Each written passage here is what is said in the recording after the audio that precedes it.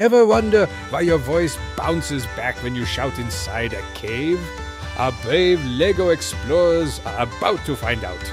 Scene 1 Two Lego adventurers tiptoe into a dark, echoey Lego cave. Suddenly, one shouts, Hello! and both jump as the cave shouts back, Hello! Scene 2 The Lego scientist explains, Sound travels in waves like invisible Lego bricks flying through the air. When those waves hit a hard surface, like a cave wall, they bounce back just like a Lego ball bouncing off a wall. The explorers try again, but this time one covers his ears while the other yells, only to be startled by his own echo bouncing right back. Scene 3.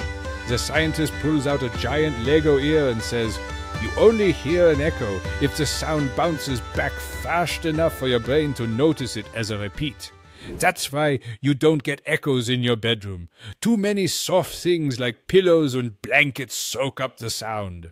The explorers start shouting silly things, causing a chorus of echoing giggles all around. Punchline one explorer shouts, Free pizza! And the echo shouts back, In your dreams! That's how echoes work. Sound bouncing back, sometimes with a side of sass.